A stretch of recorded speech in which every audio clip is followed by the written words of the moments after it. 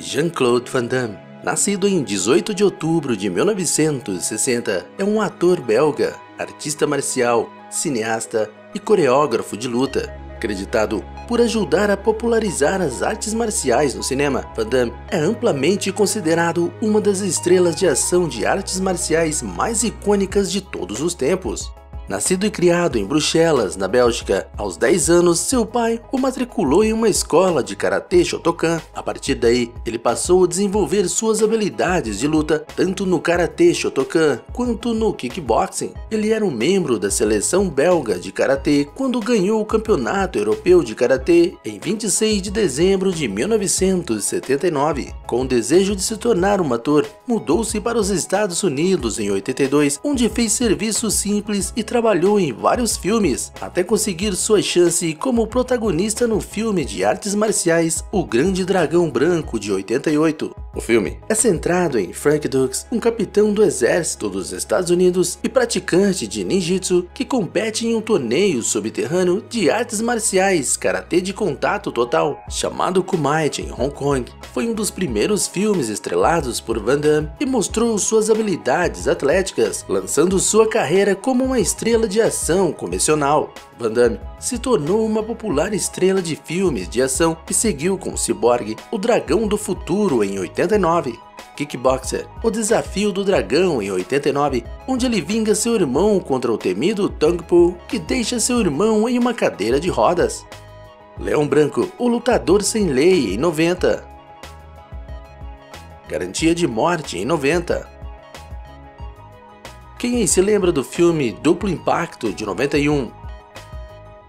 Soldado Universal de 92 e entre vários outros filmes de sucesso da década de 90. Deixe nos comentários qual filme deste grande ator você mais gosta. Aos 16 anos, iniciou o balé que estudou por 5 anos. De acordo com Van Damme, o balé é uma arte, mas também é um dos esportes mais difíceis. Se você consegue sobreviver a um treino de balé, pode sobreviver a um treino em qualquer outro esporte. Aos 15 anos, Van Damme iniciou sua carreira competitiva no karatê na Bélgica. De 76 a 80, Van Damme compilou um recorde de 44 vitórias e 4 derrotas em torneios e partidas de semi-contato fora do torneio.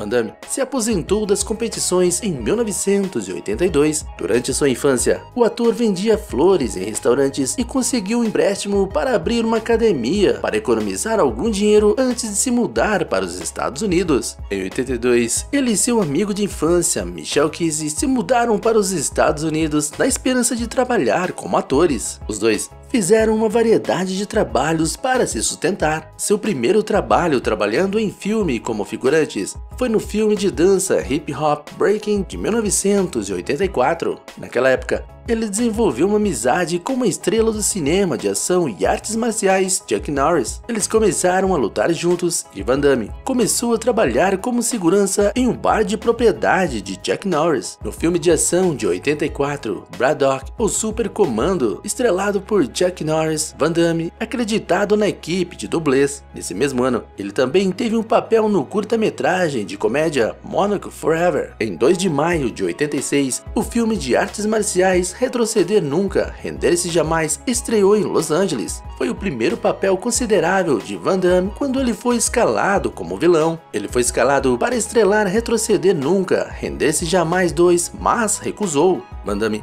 trabalhou no filme Predador de 87 como uma versão inicial do alienígena, como a primeira escolha para interpretar o personagem titular Predador, com a intenção de que ele usasse suas habilidades em artes marciais para tornar um alienígena um ninja ágil como caçador. Mas, depois de alguns dias de filmagem, ele deixou o filme. Foi relatado que Van Damme reclamava constantemente que o traje do monstro estava muito quente e que o fazia desmaiar. Além disso, ficou claro que um ator fisicamente mais imponente era necessário para fazer a criatura parecer ameaçadora contra a equipe de soldados. O papel acabou indo para Kevin Peter Hall, que também interpretou o famoso e querido Pé Grande no filme O Hóspede do Barulho. Depois que Predador foi um sucesso, Van Damme disse que gostou do filme e que não se arrependia de ter perdido o papel. Após o sucesso do Grande Dragão Branco, a Kernel Filmes ofereceu a Van Damme o papel principal em Comando Delta 2, Guerreiro Americano 3 ou Cyborg, o Dragão do Futuro.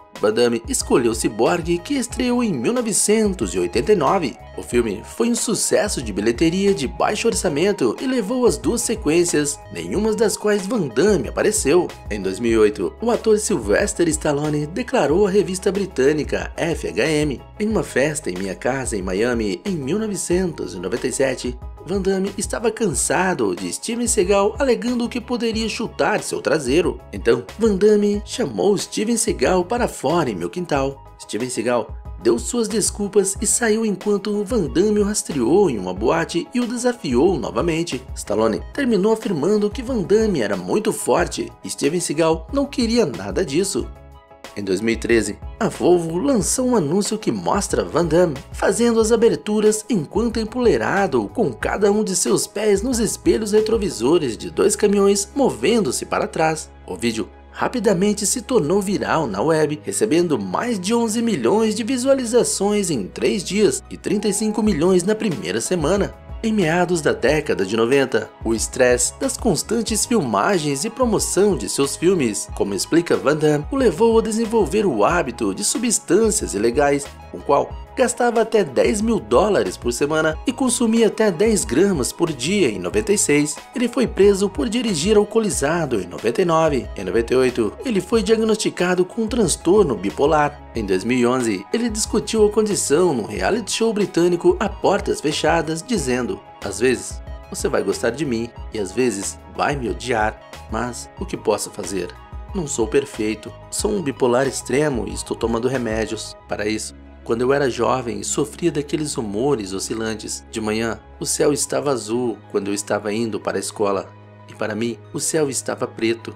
Fiquei muito triste. Mandame foi casado cinco vezes com quatro mulheres diferentes. Até 92, foi casado com sua terceira esposa, a fisiculturista Gleides Portugueses, com quem tem dois filhos. Christopher, nascido em 87, e Bianca, nascida em 90. O ator havia começado um caso com a atriz Darcy Laper, com quem se casou em fevereiro de 94. Deste casamento, o casal teve um filho chamado Nicholas, nascido em 10 de outubro de 95.